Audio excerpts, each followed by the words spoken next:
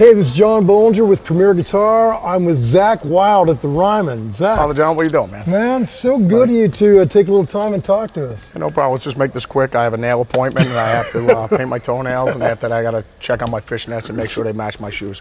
Let's make this snappy.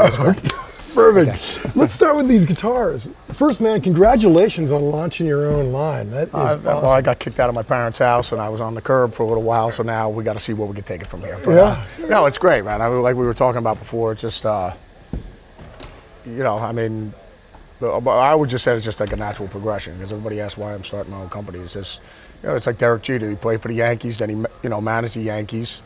Then he was GM, then vice president of operations. The only next logical step for Derek would be to be a team owner. Right. So now, you know, so right. now, now he owns the Milwaukee Brewers, you know, I mean, or whatever. So I mean, right. I, I, just say that's, you know, I mean, not everybody wants to do it though, you know yeah. what I mean? But, uh, but I let, I just love being hands-on with everything. Yeah, like Black Label. I mean, yeah. Well, yeah. well, you know, it's just like with, you know, with Jimmy Page. I mean, Jimmy, like Led Zeppelin wasn't just like a hobby of his. It wasn't the band. I mean, it's not just his job; it's his whole life. Right. I mean, you know what I'm saying? So. Yeah. But that's yeah. why I, that's why I always tell kids. You know, if they ask for any advice, I'm like, well, you don't want to have a crummy job. Just make the band your job. Just be all in. Just make it your life. You know. All in, right? Just everything. Man. You know, just yeah, just be in charge. That's why I'm in charge of what color my toenails are, what color. Make sure the fishnets match the, the high heels. Yeah and make sure the stilettos are safe. You don't you don't want to poke anybody in the eyes. You don't want to hurt anybody. You know I mean? Right, right. Wait, we'll talk about these. What um, Start wherever you like. They're well, all. I mean, with the fiddles, I mean, obviously, uh, somebody asked it was just like, well, Zakk, you got all these Norse names for the fiddles. You know what I mean? It's just like the Warhammer, the Viking V, the Odin, the uh, the Barbarian, the Behemoth, the Raven. You know, like all these all these names for the fiddles. But I, I just go, well, originally the names were going to be after famous tap dancers, but we just figured. Uh, a buddy of mine, Mike, he's a huge Minnesota Viking fan, so we just figured we'd do Mike a favor and just stick with the whole Viking motif. Right, so yeah. uh, well, that's pretty much where we got at it. But no, I mean, as far as the fiddles go, I mean, it's just like, uh, I mean, obviously with this guy, you got the tiger top and stuff like that. I mean, that's beautiful. I mean, well, the whole thing is, I mean, it's either where you could put a maple top on a mahogany body, and I mean, the majority of the time, the mo- you know, when you're making a normal soup, I mean, I'm saying for the majority of all guitars, yeah, they'll tell you. I mean, I'm just saying because it's tried and true and it's tested. And, right. You know, certain woods sound different. I mean, you know, whether you have yeah. maple, it's going to be brighter. Ebony's a hard wood, so it's going to be bright. Rosewood's a darker wood. You know, I mean, it's just like flavors and everything like that. Right. They're, they're, the different combinations you come up with wood-wise on a guitar are going to be the outcome of the, you know, pickups and stuff like that. You know, I mean, right. it's just. Uh, but the yeah. whole thing is, you know, I mean, with us, I mean me and you could be sitting there having a cup of coffee and just like whatever the tabletop is that we're sitting here looking at, it's just like an amazing piece of wood, and then we just find out whatever kind of Brazilian zebra wood or whatever type of wood it is. Just like, dude, we should just get some of this wood and make some tops out of this thing, out of the guitars, you know. So, but uh, I mean, all the fiddles I got right now, they're all pretty much um, mahogany bodies. Either I have a maple top on some of them, and then uh, maple back in the, the necks, and I only see like on this guy right here obviously the maple back of the oh, fretboard, yeah. ebony, uh, ebony fretboard, my EM, my signature EMGs, uh, the Floyd Roses. Uh, what else we got? Tone Pros hardware on here, and then uh, I'm trying to think. Um, what else we got in there? And all the wood is organically steroid fed. So that's what you know. We just make sure, but it's organic steroids as opposed to, you know, back alley steroids, right. which really won't give you the full effect. yeah, know? none of that dodgy. Uh, no, it's just like getting lame Viagra. You, you want the real deal. You want prescription. You know what I'm saying? yeah, you don't want to be. That's you don't want to be let down in a crucial yeah. moment like that. And the same thing when you get on stage, you got to roll. So yeah. you don't want to be let down. But uh, no, you just use you just use all the best stuff you can find. And I mean, with the with the fret wire, we've been using um, you know, 6100 fret wire. Right. Where we're going to use 6000. You know, so which is kind of high. But I mean, but it just it just feels great. So. But this is stuff you've been developing like over 30 years of playing and well, like honing. Well, I mean, I've been, I've been, blessed that you know, obviously being with Gibson and Epiphone yeah. and Marshall and Dunlop, yeah. I mean, like that. I mean, all the companies I've been with, I mean, all my heroes use them and stuff like that. So. Right. Uh, not only did I endorse it, you know, they gave me a chance to develop stuff with them, you know, design stuff or whatever, yeah, you know, with yeah. signature guitars, pedals, amps, whatever. But right. uh, so yeah, they'll always be, always be part of who I am and where I came from, and it's right. family to me. So you know. Yeah. Uh, but no, now it's just like you said, it's like moving out of your parents' house. Now we got a chance to do our own thing. Right. Next logical step. How many uh, how many guitars are going to be in the line? Uh, well, obviously, right now we have the, the, three that are out right now is the Odin, the the Warhammer, and the Viking V, and we're working. Uh, it's being built right now is the Barbarian. Next will be the Raven, then the double neck is the Behemoth, oh. and then. Uh, you know, so I, but I mean, the sky's the limit. I just right, right. There is actually there is no limits. So whatever we make up, I mean, it could be an old piece of uh, a pedal that used to break all the time. You know, just it was like a great pedal. Yeah. But it wasn't roadworthy, and it just got beat up. And then like, let's add something to it, make it even better, and then, you know, twist it and bend it, and then make it our own thing. Yeah. You know what I mean? So yeah, it's just, very uh, cool. I mean, even down, even just down to that, us just sitting around coming up with other pedal ideas or whatever. Just saying, man, it'd be great if you could make this massive rack mount type thing. If we could put it in a little stomp box or something like that. Right. You know what I mean? So, because all we like is the one sound out of this type Yeah. of thing or something like that. So, it, like I said, the, the ideas are limitless. Or if you said we, we combine this with that and the other thing and just made it one thing, you know what I mean? So, Yeah, because it's like a lifetime. well, it's the same thing with the guitars and the amps, or you know, I mean, we could the wood combinations. We could use spalted maple, zebra wood, this and that, whatever we want to do, and just try it, put it together. If it sounds good, great. If it's, it's junk, then we just move on. Right. Very cool. Well, now let's hear about your amps.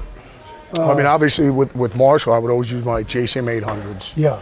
and uh, you know, just with the, it's the same. It's a, the premise. I mean, it's just simplicity, and it, but it's always you know the parts that you use. I mean, Yeah. what I'm finding, you know, the more and more you do it, if if you're using cheap parts and you use cheap stuff, it's just you get cheap junk. You Know? Right, So I mean, yeah. uh, it really is. I'm saying down to all the parts that you're putting in the amp. It, it really, it's mind blowing what a difference it makes Right. with yeah. you know because uh, now I have my own studio you know with the Black Vatican I mean you could you could hear the difference when we're going through different amps and you're trying different things Right.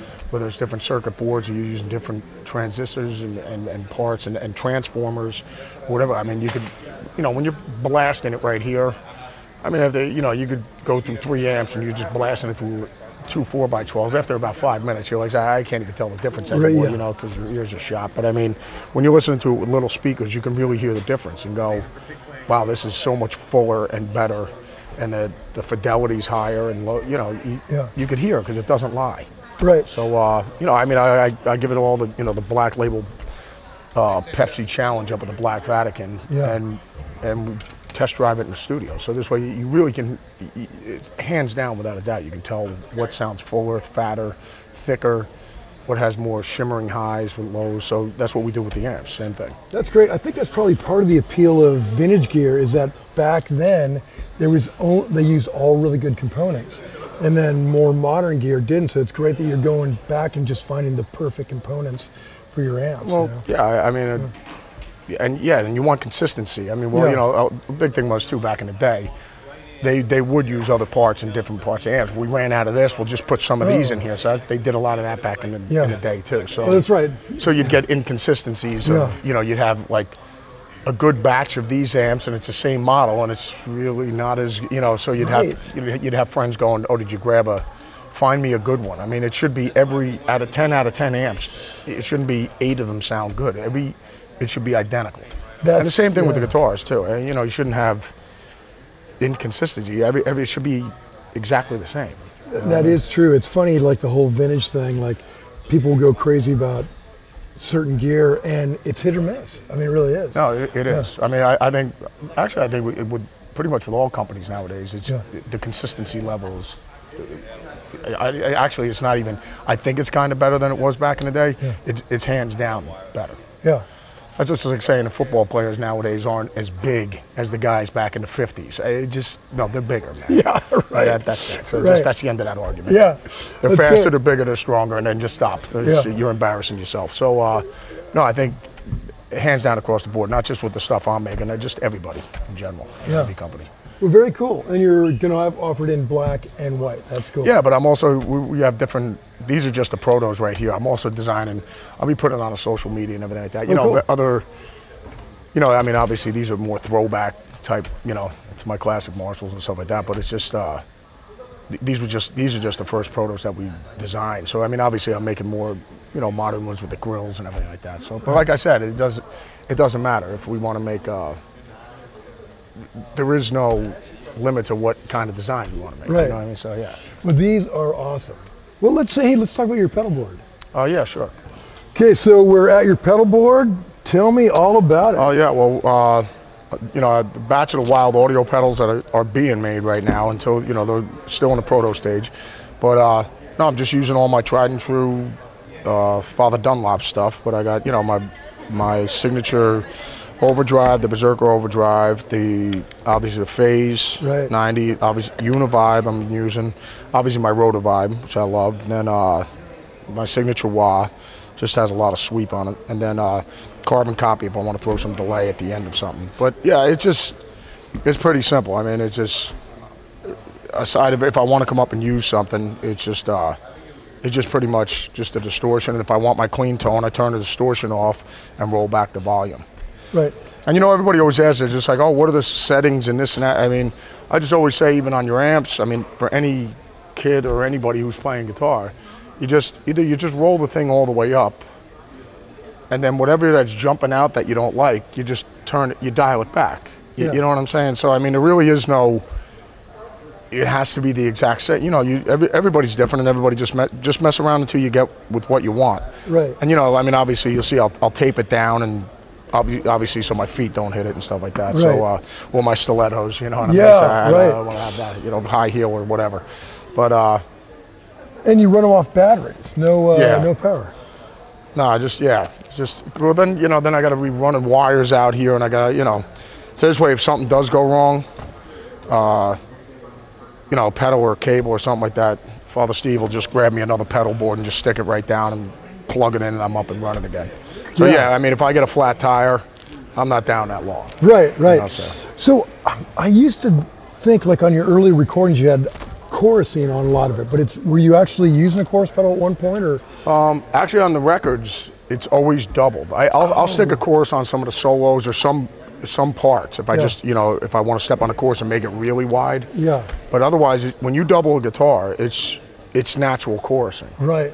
So in the studio, I mean, even down to Miracle Man, the first stuff, Right. first things I did with the Boss with Oz, Yeah. all the way up through Black Label, Pride and Glory, uh, Book of, the new Book of Shadows 2 record. I mean, if I want to have something get really wide, then I'll then I'll step on a chorus pedal and just I mean it just gets real, and then turn it off, and then it's it'll go back to normal. But uh, no, I, I, in the studio I just use I just go use the distortion pedal for the And- for the rhythm tracks, and I'll double them, and that that'll give it the spread.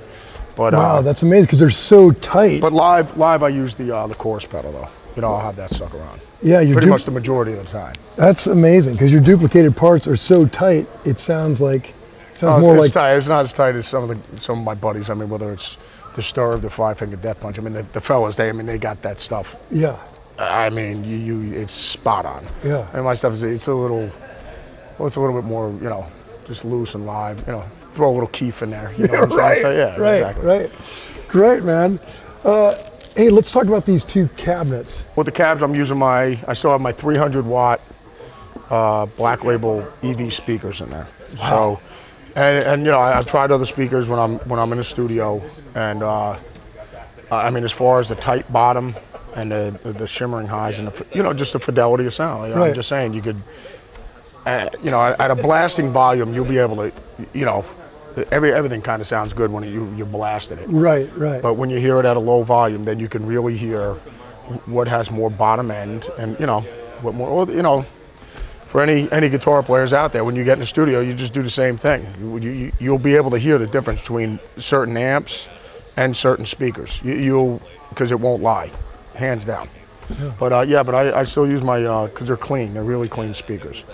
So if I want to turn the guitar down and just that's my clean sound. I don't I don't A B, you know, to to a uh, to a clean channel. yeah. You know, which is great too, though. You know, I mean, it depends on what you want to do. It's all good. There is no right or wrong way to do anything. So, uh, well, unless never mind. But anyway, so uh, but uh, no, I just like I said, I'll just turn the distortion pedal off and roll my volume down. Oh. For you know, more like if you're getting the La Grange sound or something, you know what I mean? Right. You know, dan- and, and, and, and, you know, where it's just because I want to hear the warmth of the tubes and the and the wood Right. on the guitar. Yeah, yeah, very transparent speakers. You're really getting your amp and you're getting your Yeah, I, there's guitar. really nothing going on. I, Yeah. I don't go through a rack of Yeah. pedals and effects and stuff like that. Although you know, I got but Stevie loves all his stuff and it's he sounds amazing every night. And Luke and all my buddies that I know that used to use tons of racks, it, it sounds amazing too. So I mean, it depends on what you like, you know. Yeah. Yeah. Well, Zakk, man, congratulations. Thanks for uh, meeting us. Good man, thanks just- a lot. I said, well, I got to go get my nails done now, and I got to go check on my fishnets. It's funny, man. You're Okay. such, you're this Viking warrior, intimidating guy. But- Viking Warrior Princess, get it right. But anyways, Papa John, thanks, Thanks, a lot, brother. man. Okay, thanks, man. brother. Thanks for everybody over Premier Guitar, man. Take it easy, guys. Don't forget to sign up for PG Perks, your all access pass to exclusive gear giveaways and discounts on PremierGuitar.com.